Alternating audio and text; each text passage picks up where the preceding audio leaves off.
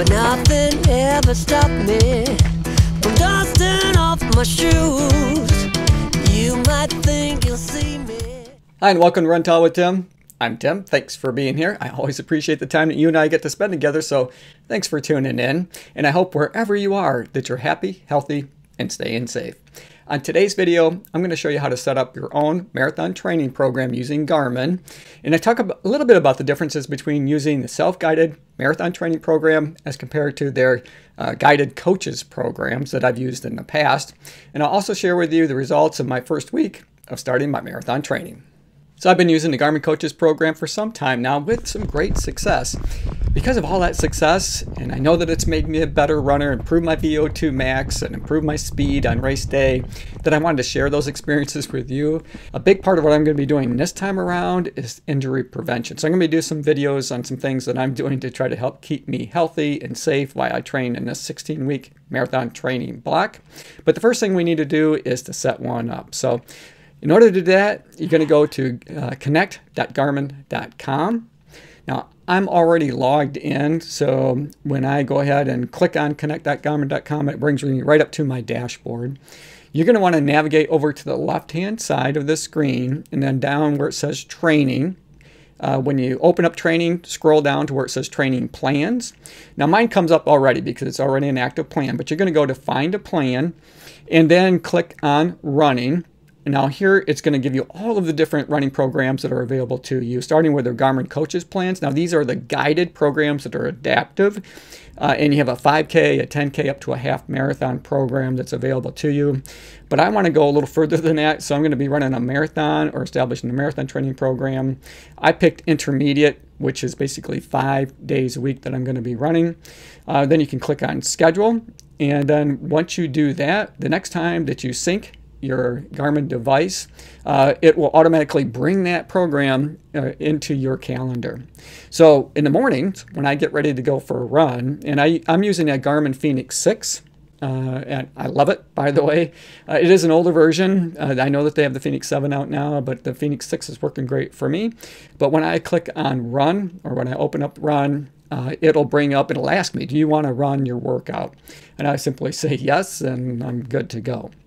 So that's how that's how easy it is. That's as simple as it is. Now, what are the differences? And I, I mentioned earlier that I would talk about the differences between using the uh, Garmin Coaches app as opposed to the self-guided plans. That with the Coaches app, it's adaptive. So it's going to change as you move through the program. And by that I mean that you're only going to know what your workouts are about a week in advance because based on how you're doing, so maybe you're uh, ahead of the game a little bit, well, those workouts are going to get a little bit more difficult for you, or Garmin's going to make those adjustments.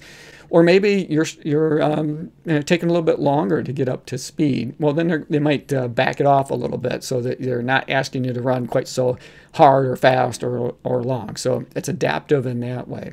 With the self-guided plans, they give you the framework and I love that. So I know what my 16 week program looks like. I know what exercises or workouts that they want me to do for that full 16 week block.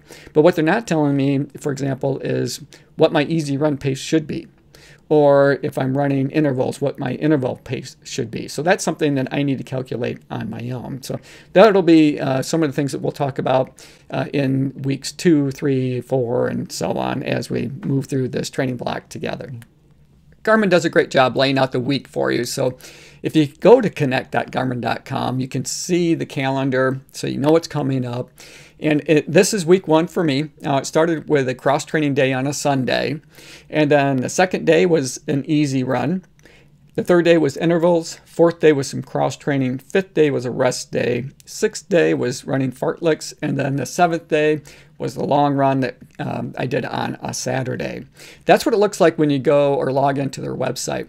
But you don't have to do that. And that's the great thing about using uh, Garmin to train with is it loads all of that information to your smart device. So this shows up on my phone. It, it also is automatically loaded into my watch as well as my results.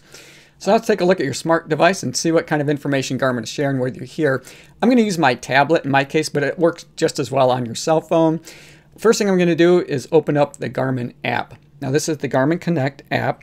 And once I do that, it brings me up into my day and they share a ton of information with you. I'm not going to go through all of that in this video because this video would be an hour long at, at you know probably at the shortest uh, because there's just so much information that they can share with you. But I will scroll down really quickly to the bottom of the screen here just to show kind of a summary of the information that they share over the last seven days and you can see that, you know, I had five different runs, 34 miles, five sessions, and all of that kind of good information.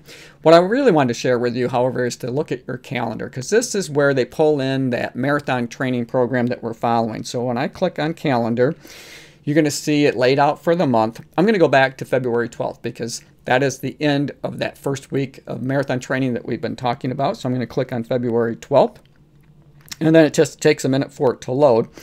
Uh, and then I'm going to scroll down and you can see some of my activities on that day. And I'm going to click on uh, the long run. So you're going to see the Shiawassee County and it's going to say uh, WO1D7. Now that simply stands for week one, day seven and I'm going to click on that and that's where it gives us all of that information that uh, you know is related to the run that I completed on that day including the route that I took and all those kinds of things. So I went uh, 9.23 miles. It took me an hour and 25 minutes roughly. Burned a thousand calories. Uh, and you can click over uh, just a little bit and it kind of breaks it down for you um, in more detail. Now I'm, probably, I'm not going to go through every day because that would be a lot, and I think you guys would get bored to death uh, if, if I did that. But if you want to connect with me on Strava, you can watch this in real time. So I will put a link uh, with my uh, Strava uh, to my Strava account uh, in the description below. So join me on Strava, and you can follow along and, and more in really in real time. My video is going to be delayed about a week. It takes me, I'm not fast at this, so it takes me a little bit of time to pull these videos together for you. So I run about a week behind. So if you want to follow along in real time, feel free to join me on Strava. Uh, I do want to share with you what shoes I was wearing because, you know, that's just one of the things that I want to do as I go forward is kind of share with you more of the gear and as well as some of the pre and post workout routines that I do for stretching, some of the uh, things that I use to help keep me healthy, like uh, percussion massage guns, uh, the hydration uh, ty- types of products I'm using for hydration. Talk about my Garmin device. I've got a device on my wrist right now that I can't really show you because it's under embargo. I'm testing it out for uh, the company, but I'll be releasing that video probably end of March once that embargo has been lifted so I can talk in more detail about that. So I've got a lot of really fun stuff coming up for you. So I hope you join me. I think it's going to be a really fun journey for us to take together. I will be doing some other races along the way and we'll highlight those and different videos. Now, the marathon that I'm planning to run is on May 28th. Uh, it's going to be the Bayshore Marathon. It is a Boston qualifier, but uh, you know, I'm just hoping to run it and be healthy and safe and complete the marathon uh, in its entirety and uh, share the experience with you. Uh, I love to run. I'm, I'm not a professional coach. I'm not an elite runner. I'm just somebody who really enjoys running and I enjoy sharing the experience with all of you. Now the shoes that I've been using for that first week of the marathon training program are the Asics Gel Nimbus 24s. Now these are really comfortable shoes. They're a max cushion daily trainer. I even use these on the speed work days, not because they're a speed day shoe, but because they're a pretty stable shoe and it's really icy and snowy out here right now. So I couldn't really put on a pair of uh, what I would call speed shoes uh, because they're just, it's just a little bit too slippery out there right now. I was doing the best I could simply to stay upright and keep from falling out on that ice. Uh, but I'm not too worried about that. You know, I've got plenty of time to do speed work down the road as the weather improves and the running conditions improve so that I can do that safely.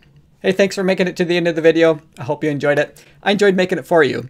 As always, run tall, run strong, be kind to one another. Thanks for watching, and we'll see you next time to continue our marathon journey together right here on Run Tall with Tim.